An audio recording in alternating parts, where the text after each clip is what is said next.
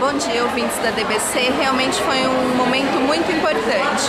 Um momento onde o prefeito Barba fez o anúncio no reajuste do valor do cartão alimentação.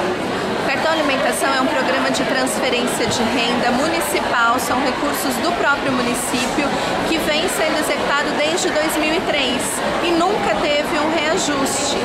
Esse programa ele veio substituição ao programa de cesta básica. Então lá em 2003 ele era equivalente ao valor de uma cesta básica. E esse ano, fazendo os cálculos e revendo tudo isso, fazendo os cálculos pelo índice do IPCA, nós percebemos que ele estava muito desvalorizado, até porque o Bolsa Família nesse período já teve vários reajustes.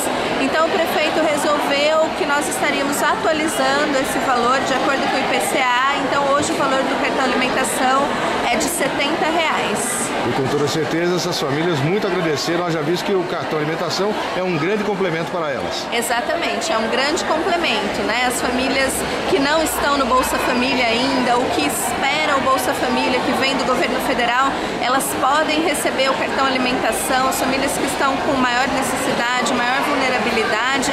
Então, para elas, esse aumento de 20 reais é bastante. Quantas famílias se utilizam desse cartão hoje em São Carlos? São 1.300 famílias. E esse cartão já é para uso imediato assim que foi anunciado? Isso, assim que for anunciado, elas já vêm recebendo o valor de 50 reais. Então, todas as famílias que já recebiam vão ter esse aumento a partir de agora.